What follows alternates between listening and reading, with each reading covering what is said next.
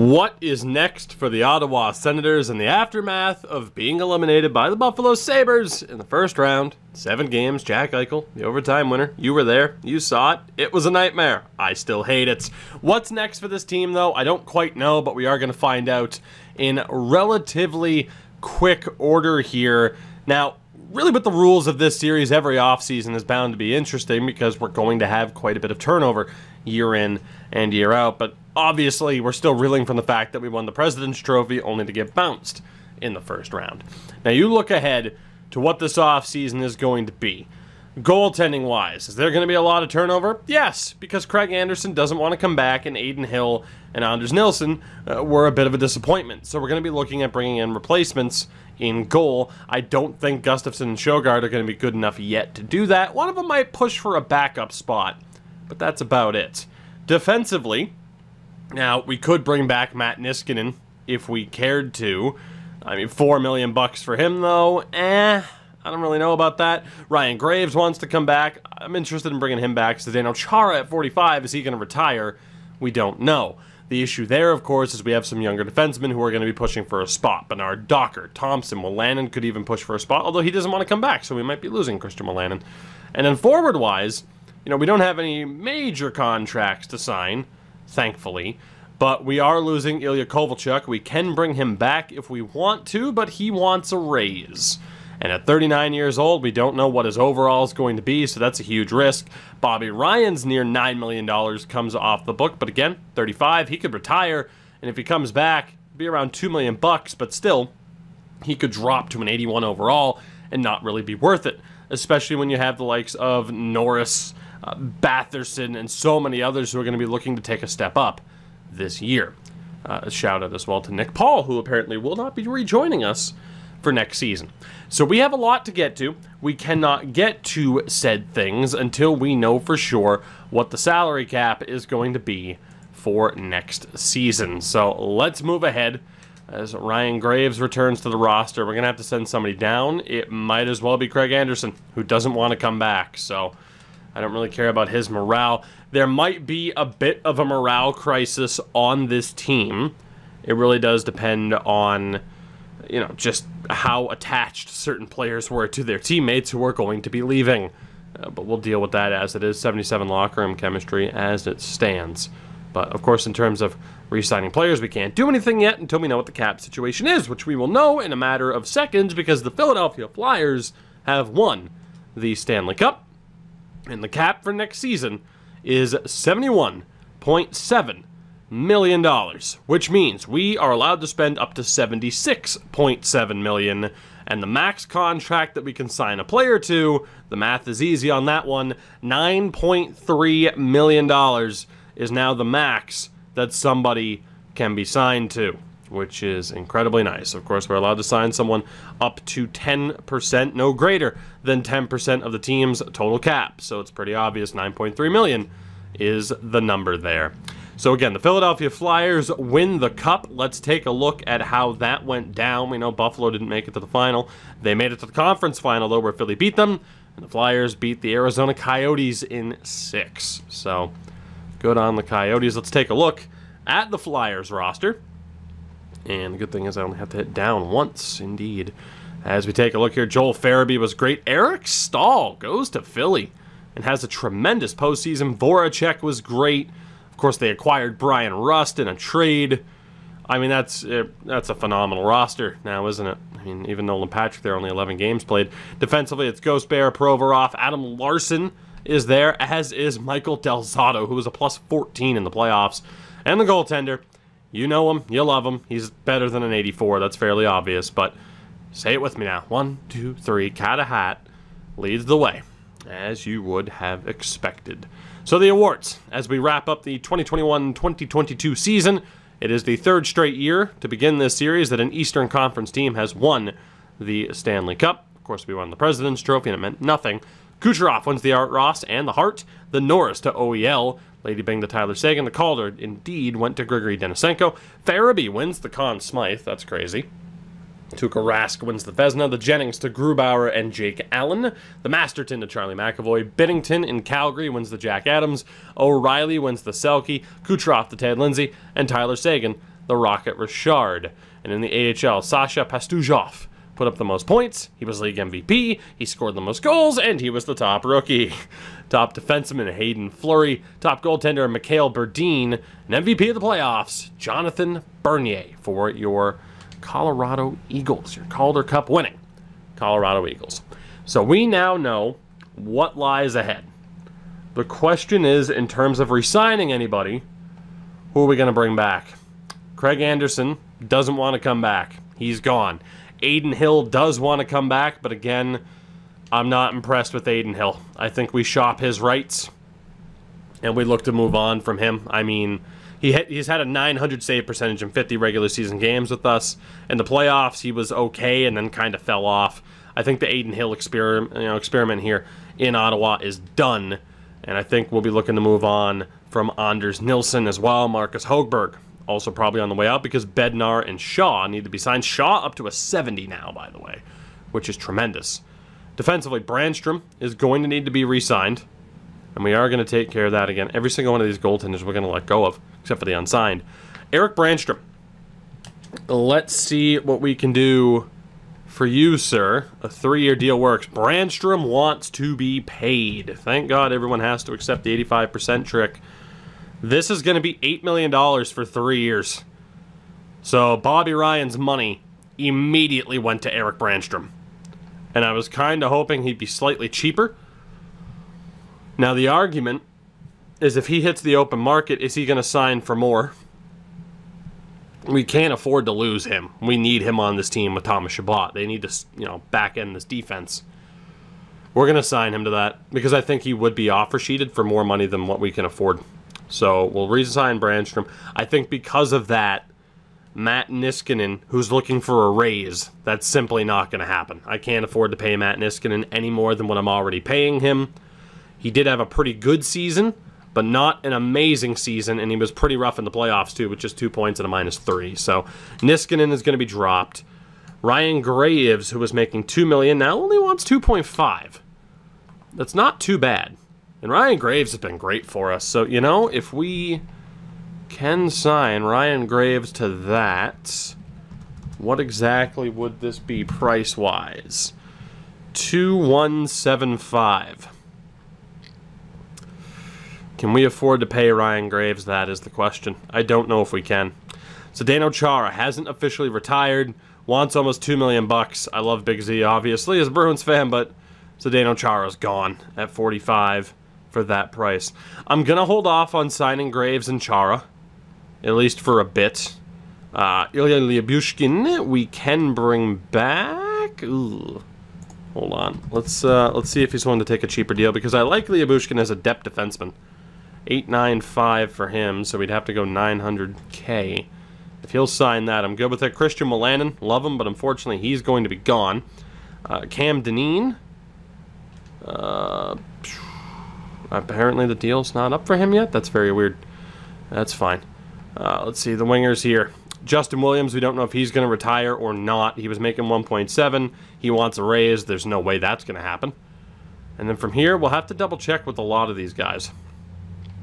We'll have to double check with a lot of them.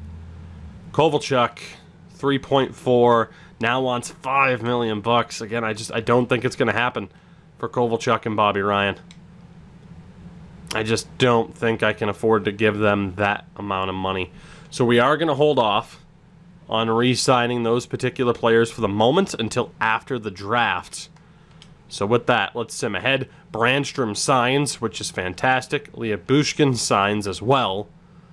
So that's a good deal for us there. As the Vancouver Canucks actually won a lottery, that's impressive. Only in a video game, the Canucks will have the number one overall pick. As we get to retired players, and Jason Spezza.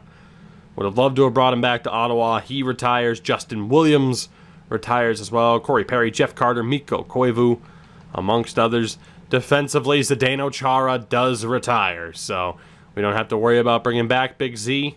His career is done, as is Duncan Keith, Brent Seabrooks. And goaltender-wise, no Craig Anderson retirement, but Smith, Howard, and Greiss all call it a day. So Chara is gone. That pretty much solves that issue. As Justin Williams, also gone, becomes a coach. Don't know if we'll sign him. Keith, Carter, Chara, and Greiss all became scouts. Good amount of uh, retired scouts here. So we'll see what happens with Z. And then draft interviews I'm not really going to worry about. So let's do this. Let's go to the draft. And I think the story of the day here, now number one, of course, Melnyk will get a selection out of our top five picks.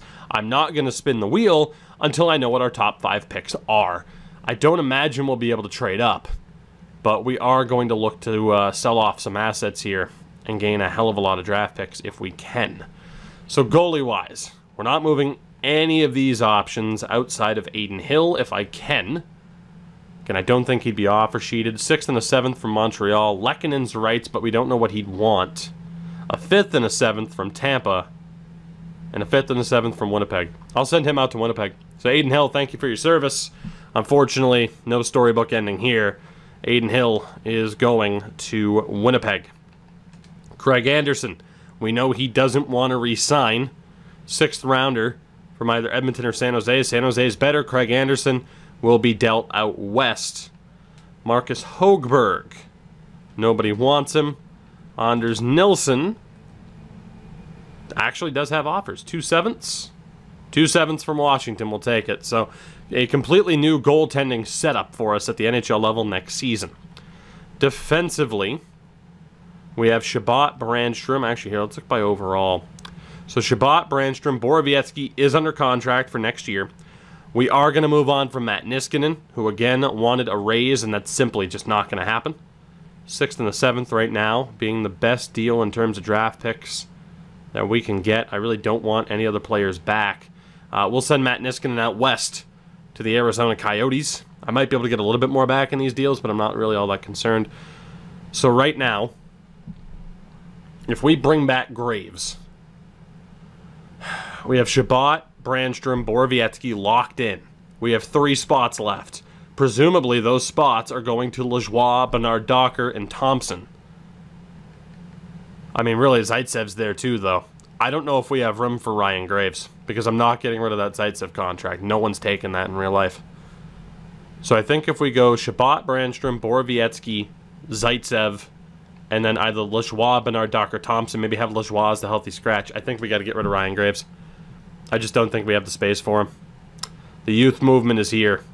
So Ryan Graves was great for us, but again, there just isn't room for him on this roster anymore. We're getting younger on defense. I'd prefer to send him out west as well. We'll send him to Dallas. Again, I really like Ryan Graves, but paying him a little bit over what we're paying him already after signing Brandstrom to what we signed him to, and it's just really the only reason it makes sense to keep Ryan Graves is if those two younger defensemen, really those three younger defensemen, turn out to not be ready. But I think they're going to be. Ryan Graves is going to be dealt to the Dallas Stars in a move I'm not happy about. But Bernard Docker and Lassi Thompson are just about ready. Speaking of just about ready, Vancouver about ready to make their pick. I apparently can't get anything for Christian Wolanin as the Canucks make the pick and they take Shane Wright first overall, 83 overall, medium elite. He is ready to go out of the gates. So yeah, defensively, Chabot, Branstrom, Borowiecki, Zaitsev, Bernard Docker, Lajoie, Thompson, and even Lyubushkin. Those are going to be the guys to make up our defense next year. And of course, Bernard Docker and Thompson are going to be even better heading into the next season. So I'm excited to see what will happen. Can I get anything for Andreas Englund? I can't. It was worth a shot. None of the guys down here will be worth anything. Uh, for the wingers, Lafreniere, Hall, Balcers, Nick Paul didn't want to stay, so we should look at shopping him if we can. Good fourth liner for us, but no real room for him. 207, 206. We'll be sending him out to the Edmonton Oilers. So Nick Paul, his rights have at least been dealt. Again, just no room for him on this roster. Uh, Michael Carcone, Carcone, call him what you will. Uh, no value for him, unfortunately. I don't think we'd be holding on to him. For the wingers, Tkachuk. I don't think we can keep Kovalchuk. I really don't think we're going to be able to keep Kovalchuk and Bobby Ryan. I'm going to ship out their rights. I mean, we have a lot of younger guys who are ready to step up. So 2-6, the 5th and a 7th right now is the best option that we have. It'll be a 5th and a 7th from the Dallas Stars. Ilya Kovalchuk, you had an amazing season with us. but you are out of here. And Bobby Ryan, despite the fact that you're only going to want two million bucks or so, I don't uh, believe that you're not going to drop heavily. We're going to send your rights to the New Jersey Devils. So certainly a new era here. Tkachuk uh, still intact, but aside from that, big weakness now on that left-hand side without Kovalchuk and without Bobby Ryan. We're going to see if the youth can step up as we desperately need them to do after having to make these moves and hand out some more big money deals. And down the middle here, Vlad Namestnikov's trade value is insane. I don't project we're getting rid of him. Kevin Stenlund was an RFA. We'll be dropping him soon. So that pretty much does it for the moves that we're looking to make. Which means our top five picks here. Again, I don't think we have the value to trade up. I'm not going to move any goaltenders just yet. Because we need as many options in goal as we can get. We really don't have, I mean, aside from like Jeremy Poirier, we really don't have any guys that I'm intrigued in moving just to move up in this draft. So our top five picks, if we take a look here and set up the wheel, our top five picks are going to be as you see them there. The 27th overall, the 58th, the 89th, the 118th, and the 119th. Eugene Melnyk will get to select one of these or we'll get to select a player with one of these players, or one of these one of the players with one of these picks. And thankfully, we won out. I was a bit distracted there because Detroit made their selection 119th, so we won out there big time. Where Melnyk will be using the worst option available for him. So that is a huge victory for us here as we continue to try and offset what Melnyk is doing. As you guys get a look here I'm intrigued at who's going to be left available in this first round. There's a guy named Goalie went to Pittsburgh. Jack Hughes to Montreal. It's so weird that there's another Jack Hughes coming up. Of course, we added in a lot of real-life prospects to this draft as well. Let's see who's available. Top option appears to be Charlie Letty, But spoiler alert, I know he's not that good. So the question here, God, our scouting department sucks. Oh, our scouting department sucks. So let's see, there's Yanni Saikola, Mietnin, I don't think I trust any of those. Lou Benino. Lou Benino, Benino. Ooh! A minus physical, no weaknesses, Chelios comparison. I like that A minus in physical. I don't really want to scroll any further down than that. Uh, Mietnin, decent, but we can't really trust it. Lars Modine, eh. We know he's not good. That's a medium top six. Nothing really there from. But a little bit of Murphy comparison. Maybe we'll pin him just because he has a player comparison. Rudy Timmons, nothing really there for him. A minus physicality for Recchi. He has a Scott Hartnell comparison. Vienno, we know nothing about you. Uh, Franzen, we know nothing about. We didn't lose a scout this year. Our scouting department just sucks. Uh, Darren Trainer. Ooh. Could be decent. Christensen. Eh, could also be decent. Bor Ooh, Hunter Boro.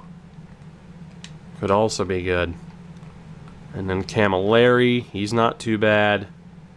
Boucher and then Letty, but I know he's got a good overall, but his potential is not great. Interesting. And of these pinned players, the one that caught my eye, Bonino and Recchi for the physicality, because they might have a higher overall out of the gates. I feel like we are just about to get completely screwed here, though. I have a bad feeling about this draft pick, if I'm being honest. I really do. The reason I say that is because they're been granted they're uh, real life players, but I don't know. I feel like the medium top sixes might be about to expire. Oh, God. Um, whew. Whew. I don't know. I like Trainer's point totals a lot. Apparently has a really good shot three years out. I have a feeling this is going to be a super bad pick. I'm going to call a timeout really quickly. Hold on. T timeout. Timeout here, Team Art. What can I get for this pick Now that I now that I know I have the rights to trade it, what can I get for this pick on the open market? A second, a third, Murphy, Zach Parise, Hyman, Sissons, a second, a third.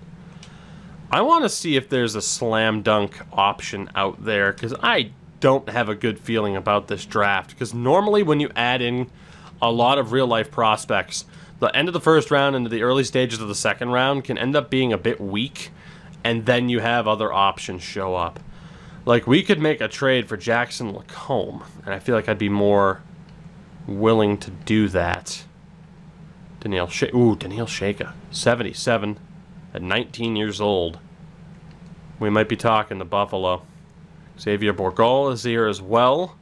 78 at 19. I mean, even better, obviously. I mean, could argue what we need. We need forwards and defensemen moving forward. Whew, that offensive awareness from Xavier Bourgault. That could.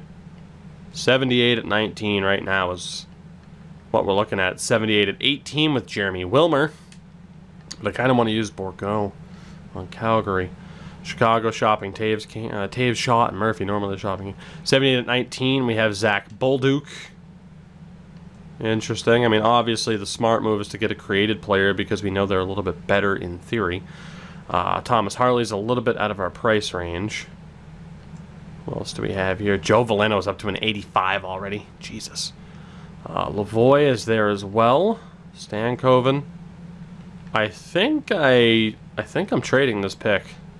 Thomas Tatar. I think I'm trading this pick. And I feel pretty confident in that decision, although you watch, we'll miss out on an amazing player. Turris Duchesne Krejci, Teddy Blueger, Kreider, Giordano, Bobby Brink is a 77 at 20. I think we have our option. I think I like Xavier Bourgault in, uh, ooh, 78 at 18. Luke Hughes, though. Mm.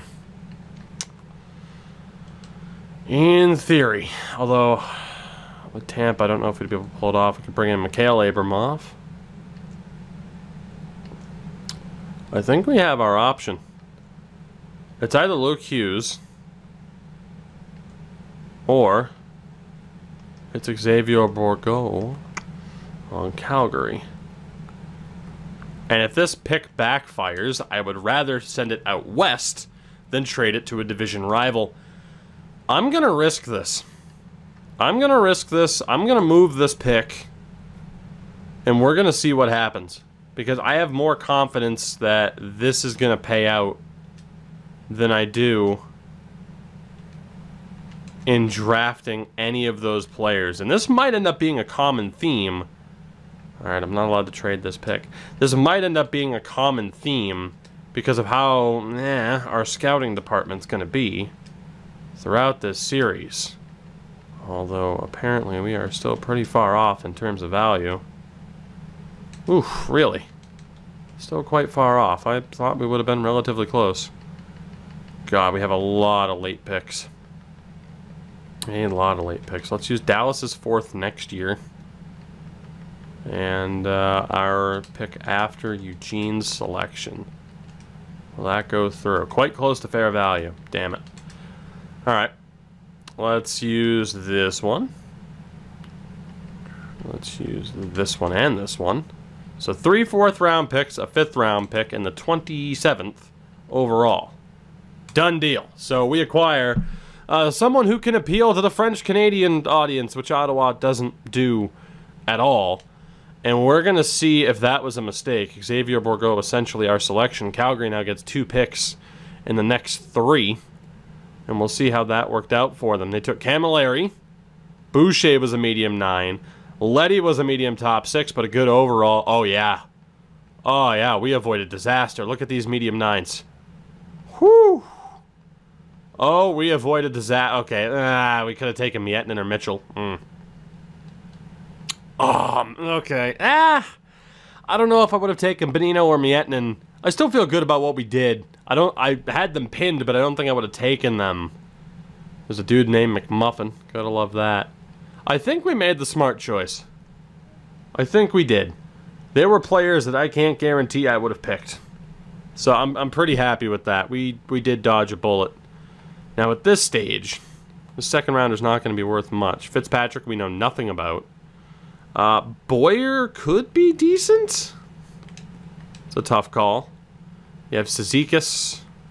We just know we know nothing about any of these players. Jesus. Bakos is terrible. Rene Thibault. Eh. You have Heiskanen. Brendan Woods. Uh, Peyton Neal, but a confirmed medium 9. Eh, that kind of sucks. Landon Thompson. Ooh. Good physicality from Landon Thompson. Kind of like that. Borowiecki could be his, uh, you know, he could be Borowiecki's protege. I mean, there are some other players here. We could take a risk with Roenick or Blackburn, but I don't really trust that. Yeah, these these drafts are going to be a real crapshoot. They are going to be a real crapshoot with how meh this scouting department is. So I like Thompson for the physicality. There was Boyer there too. Fitzpatrick had a decent little point total. Boyer was decent as well for a defenseman in the W. But obviously, you know, the, the numbers over in Europe are never going to be that great. Peyton Neal's a safe bet. I can't believe I'm going to do this. I'm going to take Peyton Neal. And I'm going to take a decent overall medium top nine forward. He's a 64. I'm not going to risk it because I had no faith in the rest of that round being decent. And we'll see if that was the right choice. Subban was a low 6, low 4, low 6, low 6, low 6, low 4. Yep, I think, again, we made the right choice by being a little bit conservative with actually selecting anybody in this draft. We absolutely made the right choice. Jesus. This draft is horrible. we get to the third round. Let's see who we have here. Henrik Lundberg. Could be decent. Carjulio. A goalie. Bjorn Bush. Guillermo Hogan. And Andrew DeNicola. Ooh, DeNicola. Potential two-year ETA. No confirmation on that, but I like that. Bouchard? Could be decent. How did Bouchard compare to the other goaltender? Schaefer's only 5'11". Ugh, UC Sorrow special. So we have Gibbons, eh. Stan Corey. Again, we can't trust the ETA, but maybe? Brian Merritt. Don't trust that at all. Jacques Desjardins. Don't trust that at all. Whew, this scouting department needs some work. Marco Shantz. Good shot. That's about it. Okay. We are going to be looking at any of the players that I pinned. There are three of them. A forward, a defenseman, and a goaltender. Stan Corey, 18 years old, decent point total, potential three-year ETA. You have Bouchard as another goalie. When in doubt, take the goalie. Could be another guy to add into the mix. And then there's Andrew DeNicola with the potential two-year ETA. He does care about winning, apparently. But good defense, good physical. But he's an overager. I just noticed that. When in doubt, take the goaltender. We're going to take Mario Bouchard from the Saint John Sea Dogs. Ugh, medium fringe. You know what? For this draft, that's probably for the best. That is probably for the best. But did we make a mistake? Carjulio, Hogan, all decent. Nobody that I totally regret missing out on. Schaefer was a starter, but again, he's super undersized. Yeah, this draft is uh, not good. this draft is not good. Garrison was a low elite. Medium top six steal for Toronto, but a super low overall. So we get this pick, and then not much else. Hello, Scrashtins. Merrick Scrashtins. I like it. I like it a lot. That's the obvious pick. 19 years old. Five-year ETA. But the son of Carlos is what we're going to call that out as. Merrick, welcome aboard. 57 overall. This is Eugene's pick, and he goes for man. Kirkman. Kirkman. He took Kirkman, who is uh, not great. So, way to go, Eugene. I mean, granted, he didn't exactly have a layup like I did there, so it's not too bad. Did he miss out on anybody? Probably not. Yeah, this draft is... It is a minefield. I can't even blame Eugene for taking a low nine player. Can't blame them. So we have a bunch of picks left. We're going to make them rather than trade. And we're going to hope for the best. Sergei Prohorkin. No real guarantee that you're any decent. Goldobin. Dennis Kane at 18 with a four-year ETA. He might be worth it. Per Pedersen is horrible. Doesn't have a single defined strength. Yikes. Uh, let's see, we got Corazini with a three-year ETA, but he's also an overager. Demetrius Tapper. Could be a decent goaltender. Yeah, this is uh, this is not this is not good. Our scouting department really shit the bed on this one, didn't they? Byron Brody. Well, Brody Bartley, a lot of Brodies. All right, let's just go. We'll take Dennis Kane, and we'll hope for the best. From Kamloops Blazers, he's terrible. Remember when I said I was going to make selections? I lied. let's sim to our next pick, which is right here. We'll double check potential, and if there's nobody good, I am cashing out. Yeah, there is uh, there is no semblance of a guarantee here, which means we are absolutely positively cashing out on this draft because I do not trust it. So that's a lot of picks to move, but we're in no rush. We can just go ahead and move them. So, yep, let's get rid of all of this. Anaheim, try to give me a fourth rounder next year. And maybe a little bit more just to safety net it. What do you think? Thank you very much, Anaheim. Just go ahead and take all your picks in next year's draft. And then we own half the seventh round. In which we're going to have to talk probably with Arizona instead. And we'll see if we can get a fifth rounder for that. The answer is yes. Apparently, that's a gift horse trade. Good for you. And then two more sevenths for how about a sixth round pick next year, Arizona? No. All right, we'll look at like Boston's seventh rounder next year. Done deal. Okay, so we're out of this draft, which I think is a very good call. There, there might be a steal or two. Who's to say?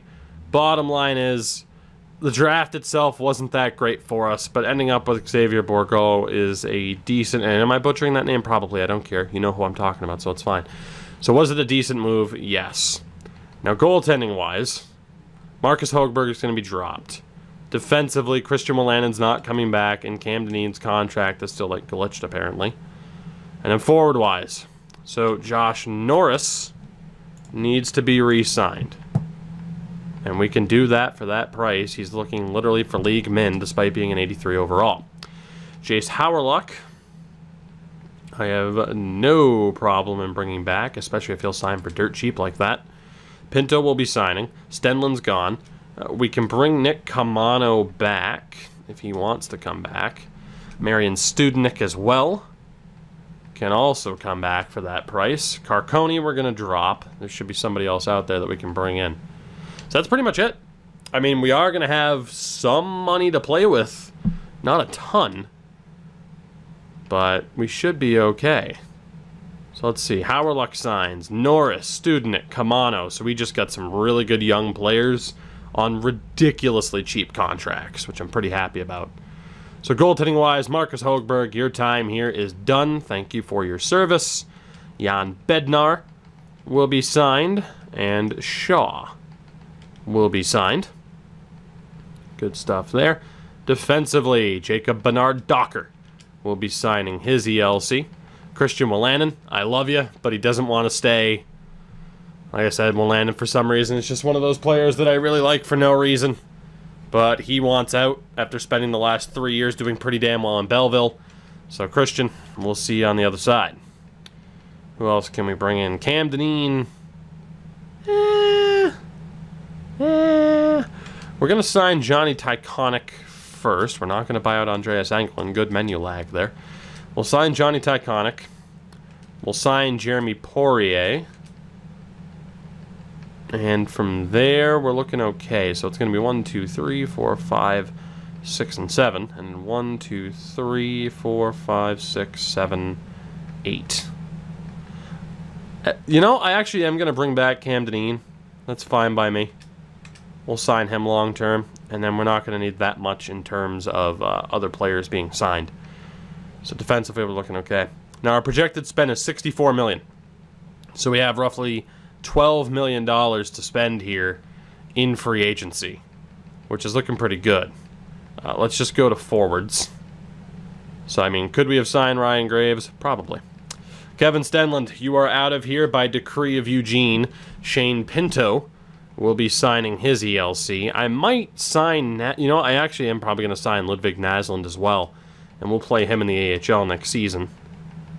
Who else do we have? Pilar also needs to be signed. So there's a pretty big youth movement coming into the AHL. So with that, Michael Carcone is going to be dropped. We're going to sign Stepan.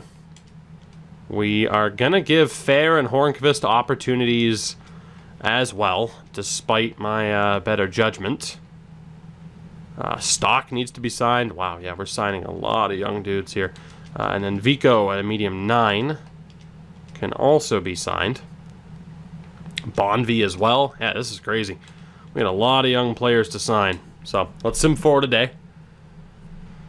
see what we got. So Dineen signs. Naslund. Tychonick rejected. Apparently I have a full roster. Pinto signed. Poirier. Bernard Docker. Bednar. Shaw. Stepan. Hornqvist. Fair. Bonvi. Vico. Pilar. Stock. Yeah, we're up to 49 contracts. Whew, so who's expiring at this point? No forwards, just Tychonick. So uh, re-signing Cam Dineen was the wrong choice, and that means if we want to sign anybody in free agency, we have to make moves, obviously. Hmm. So it's either we lose Johnny Tychonick, which I don't really want to do, or we buy somebody out. It can't be Kapanen. So we'd probably be looking at Guenette or If I buy out Andreas Englund, two years, a little bit over a quarter of a million. Not that I want to buy out Andreas Englund, but it's not going to cost us that much. And he is the guy to get rid of right now. At least that I can think of. Lowest overall. Like Kapanen can't go anywhere, at least not until his ELC is up, and he was on an ELC slide from the looks of it. There was Bonvi. Scott Sabourin's obviously going nowhere. So yeah, Guenette looks to be the lowest overall at the highest age. I think we're going to drop Maxence Guenette. Seventh round pick in 2019. Eh, you know, actually, I want to give him a chance. Andreas Englund, I hate to say it. Uh, we're going to buy you out to make sure that I can sign one Johnny Tychonick. And that deal should be done, and it is. So with that, we have a full roster heading into free agency. Some players are going to have to be moved for us to make room, which is fine. We dropped Chara as a scout. I might bring him back. Of course, I'll handle the scouting off screen, or the staff department off screen. But in free agency, with a grand total of 13, just a little bit under $13 million to spend, available on the open market, for goaltenders, the leader is Darcy Kuemper on a steal of a contract. Holtby's also looking for a dirt cheap contract. We're not going to get involved in the RFA market with those options. But in terms of dirt cheap options, Darcy Kuemper, Braden Holtby, I mean, there are some good options here. Even like Rinne or Lundqvist as a veteran, but also Thatcher Demko is there. Tristan Jarry's looking for a dirt cheap contract. Carter Hutton, Francouz, Francois, Francois, call him what you will. Merzlikins. Let's take a look here. So Kuemper last year was fantastic in 21 games played. Braden Holtby, not so much as a backup. He's going to be looking for a bit of a redemption story. Uh, decent. Lundqvist, eh. Demko was rough. Tristan Jarry was okay. Francouz was phenomenal. Merzlikins struggled. And then you have the likes of James Reimer, who was awful. Jonathan Bernier, of course, won a Calder Cup. So, and Linus Ullmark had a 909 wherever he played. So I got to be honest. I mean, I like the idea of. I mean, Pavel Francouz had really good numbers and a pretty good record. Carter Hutton was solid. There are some pretty good options there in goal to bring in. And there was also a medium elite prospect that we could uh, give a shout to. Also, you have someone like Ivan Prosvetov, who's a 77 at 23 years old, but he's a high fringe. And you also have someone like Dan Vladar. So there are a lot of options on the goalie market. It just depends on how unproven we want to go. And if you look right now at our goaltending setup, we only have four goalies signed. We have room for two other goaltenders right now. I mean, it could result in Bednar being the healthy scratch in the AHL but say we bring in, if one of these two are NHL ready, which Gustavsson will probably be, we could bring in a Holtby, somebody else as a healthy scratch, and have Gustavsson be the backup, and then the AHL can be uh, Shaw, Sogaard, and Bednar as the backup. A lot of options there. I definitely want your opinion on that. Defensively, we didn't even look at the open market here, but we already know. You know, I mean, this defense is basically set. The only way it's not is if we say that we're going to commit to playing Bernard Docker or Lassi Thompson in the AHL for one more season. Which we could do. Is that a smart move? I don't know. Defensively, I mean, do we want to pay Darnell Nurse seven million? I don't know. Do we want to pay Butcher, Ristolainen, or Zach Werenski, who's an RFA, so he's off the table? But do we want to pay Risto, you know, butcher a Petry five million bucks? I don't think we do.